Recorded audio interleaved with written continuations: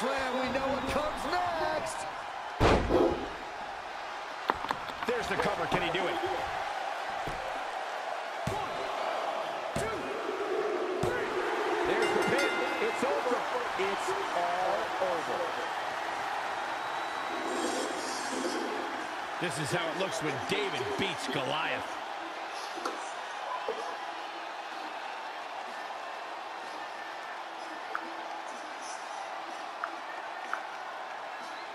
Here is your winner, Hollywood Hogan.